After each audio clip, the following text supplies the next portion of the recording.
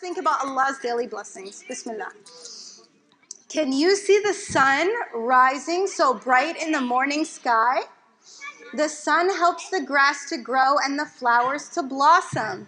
A new day has begun. Alhamdulillah. So at the end of every page, do you guys think you could say Alhamdulillah with me? Can you say that? I didn't hear everybody say it. Okay, let's try all together. Alhamdulillah. Oh, one more time. I think we can do it better together. Alhamdulillah. Good. MashaAllah. And Alhamdulillah means praise and gratefulness to Allah. The sun is like a bright light for us to see all of Allah's creations. The different shades of green of the tree, the grass, and the mountain so high. What a beautiful world Allah has made. You guys, Alhamdulillah. Good. Allah created the clouds to give us shade during sunny days. I love to look up at the sky and see the clouds that Allah has made. Sometimes they look like animals. This, that one looks like a turtle, and that one looks like a sheep. Alhamdulillah. Excellent.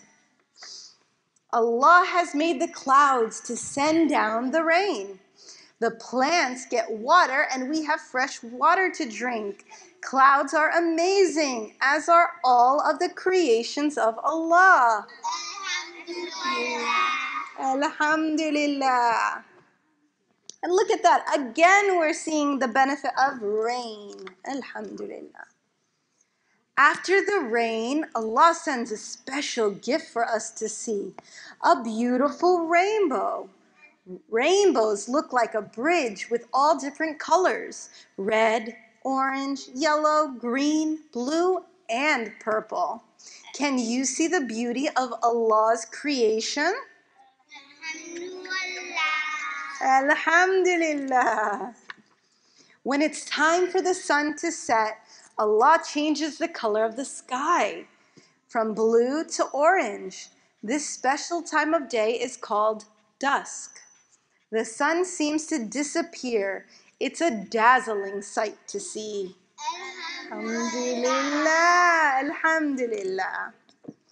When night falls, the sky becomes dark, but Allah sends us the stars and the moon to light up the night sky. Wow, how peaceful and lovely the night sky is. Alhamdulillah. Alhamdulillah for you guys. Really helping me out. Like that. Allah created the night as the time to rest. I read my du'ats and I go to sleep and think about all the wonders of Allah I saw today. I can't wait to see what tomorrow brings. Insha'Allah. Alhamdulillah. Alhamdulillah. In the Quran, Allah tells us to think about the differences between night and day. That's in Surah Al Imran. Behold, in the creations of the heaven and earth, the alteration of the night and day, there are indeed signs for people of understanding in the Quran, Allah guides us that uh, guides us that the night is for sleep.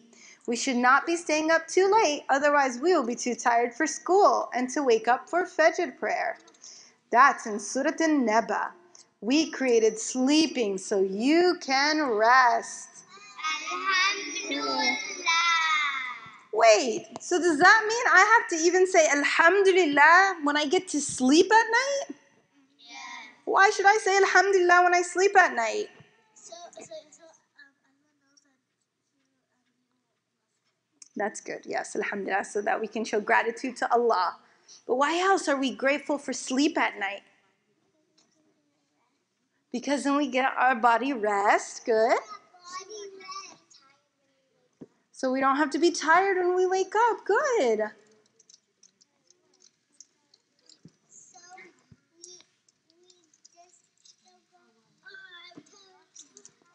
I'm too, exactly. So we don't go, oh, I'm too tired. So alhamdulillah for sleep. So is everyone tonight going to be going to bed saying, yay, I'm going to go to sleep tonight? Be good for mom and dad?